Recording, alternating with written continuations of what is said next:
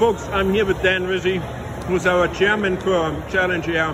Dan, what does this event mean to you?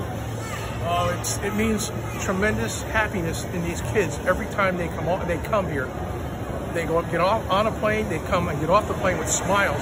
And all we've had all day long is they leave thanking us for this opportunity to have these kids have a good time.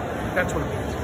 Dan, how do you feel about the community coming together with so many volunteers? I've never seen so many volunteers at this event. How did you guys pull this off, getting so many volunteers? Over the 28 years that we've done this, the people know that every year it is an amazing event that they all want to be part of. And that's what it comes down to. They know this event's here. Now, you are one of the best Rotarians that I know, Dan. What does it mean to you to be a Rotarian? Service above self. Basically, we serve the community before we uh, above our own, and it's it's it's gratitude, and the community is really we, they really love what we do because we're helping them in sometimes in their dire need. Thank you so much for everything that you do. Thank you for your leadership with this event. You knocked it out of the ballpark. I see only smiles all the yes, way around. Yes. Thank you, sir. Thank you for your help. Appreciate it.